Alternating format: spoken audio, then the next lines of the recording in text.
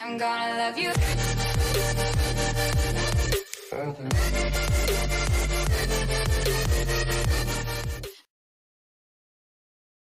Hey, welcome back to Dan's Chess Lounge, everyone. I'm super excited about today's round. We have round number 10, uh, so maybe the final round, depending on what happens, of the Gibraltar Masters. You have the number one seed, Levon Aronian, going up against Hikaru Nakamura, our super tactician GM. Uh, Aronian started off kind of iffy, kind of shaky, uh, while Hikaru was just killing everybody in the beginning. And then all of a sudden, Hikaru started drawing everyone. He's had like four or five draws in, uh, in a row. So he, he let the field catch him. So now he's got to battle it out with uh, the number one seed, Levon Aronian. So let's see what happens in the game. Aronian was white. He played d4, d6, e4, g6. So now you have like a Pirc defense that they're transposing into. Knight f6, knight c3. So this is just like mainline of the classical variation of the Pirc defense. The Pirc defense reminds me of a King's Indian defense uh, because the setup is, is very similar for black and the idea is pretty similar too for for, for black uh, except for he doesn't have that c4 pawn to attack uh, for white but it, it's pretty similar though. Now you have d5 uh, hits the knight. Knight goes back to b8. Uh, this is a this is a pretty uh, advanced maneuver because Black knows that d5 is a potential move, but he doesn't mind it though because he's gonna just reroute the knight to a better square. The knight is gonna come to either d7 or a6, and then the whole thing behind the whole in, inducing white to play d5 is that black is saying, "Hey man, your your pawn is not that great on d5. It actually helps me out because now my bishop has a beautiful, if I can draw it correctly here. Hold on, there we go. My bishop has a beautiful scope here on a long diagonal that that's opened up now, and now black can also chip away at at the white center with c6 and e6. So um, it's two different takes on it. White has their take, black has their take. That's what chess is, is a battle of ideas, and you see who's going to prevail. So you have queen d2, uh, setting up white's battery so he can play bishop to h6 and exchange the dark square bishop off. c6, black wants to break up the center. Bishop e2, castles, castles. C takes D, E takes D. Now you have B6. This is giving a uh, more scope for the bishop. The bishop may not want to the bishop may not want to play out on this diagonal here. So the bishop may either go to B7 or go to A6. Now you have bishop A6 uh, wanting to exchange the the dark square bishop, and then that would that would make uh, black a little weak on the dark squares over here. Only if white can exploit them, though. Knight d4.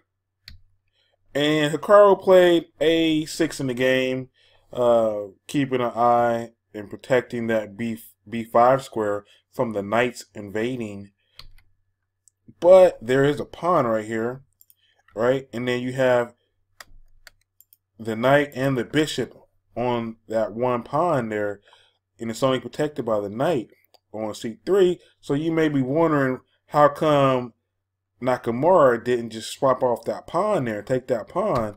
Well, if he if he would have did if he would have played knight takes d, then he would have ran right into bishop f3 and that pins the knight to the bishop there. And it's just a long list of, of bad things that can happen. I'm not going to go through every single one. It's like 10 different variations, and they're all bad for black. so uh, that's why he didn't play knight takes d there. He played a6. Good prophylactic move to keep the knights and bishops off of b b5. So then you have a4, knight b to d7. That's that reroute that we were talking about earlier, getting the knight to a better square. f4. Now you have b5. This here is a pawn sacrifice that Naka uh, wanted to do so he could create some more space and activity for his pieces. That's one of the problems that Black has in this in these type of positions that they don't have that much space and their pieces kind of fall all over the place. Uh, they run into each other. Just look at the two knights there, the knight on F and the knight on D. You know, they're they're both kind of like running behind each other pretty much. Uh, they're getting in each other's way. So he's just trying to create some more space here. You have exchanges. Uh, Levon Aronian accepts the sacrifice. Now you have knight takes D, knight takes, bishop takes. And now you have c4 hitting the pawn. Uh, at this point here, Naka dropped the bishop back to b7. But I just want to go back and say that in a post round interview, he he said that he wanted to swap off uh, a pair of the rooks here. He wanted to play rook takes rook, but he simply forgot. Uh, it's hard to imagine that someone ranked that high would just simply forget uh, about about their plan, uh, especially when they're right in the mix of, of the battle. But it just shows that everyone's human. You know that these guys aren't computers; they aren't engines you know, they miss things too, just like everyone else.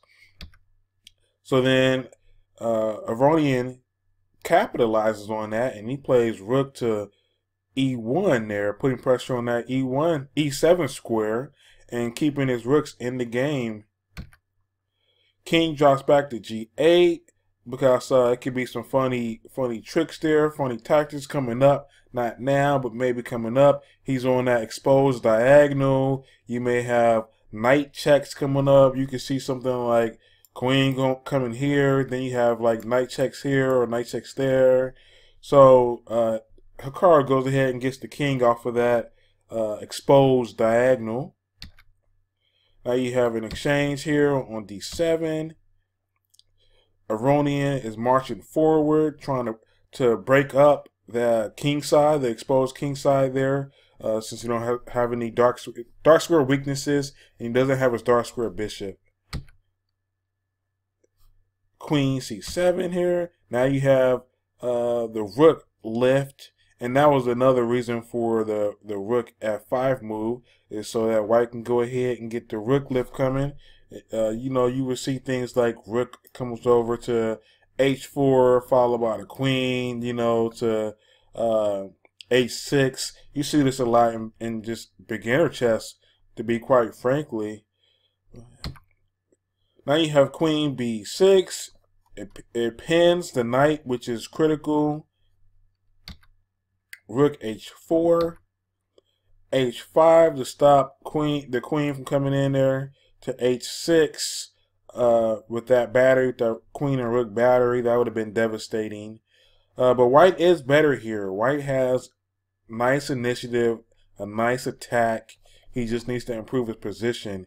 You know, he's got f take g threats. He's got rook takes e threats. He's got queen h6 threats. You know, followed up by all type maybe G4. I mean, he's just White has all types of threats going on here. He's definitely in a in a more attacking, uh, in a better position. So he plays this crazy move here. Rook takes H5, which is a little impatient here because the follow up isn't quite there. So Nakamura accepts the sacrifice, and then Queen G5 is on the board. That's what he played. Check. The whole idea here is to get a rook coming down, a rook lift this way, like this, or excuse me, not like that, like this here, and then coming over like this. That's Aronian's idea here behind his sack. So now you have queen h5. The king goes back to g8. Now you have queen g4, which protects the knight that was under attack by the queen.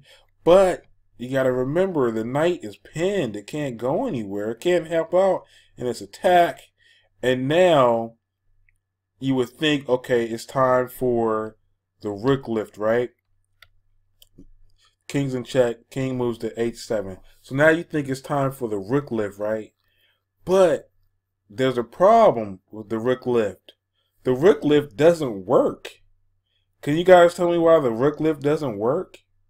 I'll give you three seconds to let me know. Okay, the rook lift doesn't work because rook a1 check. Black has the rook on the a file where he can just check. So the rook lift doesn't work for Aronian. He completely missed that. The king would go to f2. Now you would have queen b2 check. Knight blocks, and then you have queen g7. And after this, Nakamura is actually winning. You know, he don't forget, Aronian sacked that rook to open up the king position over there. So now Nakamura will be winning here. So Aronian completely missed that and missed his calculation.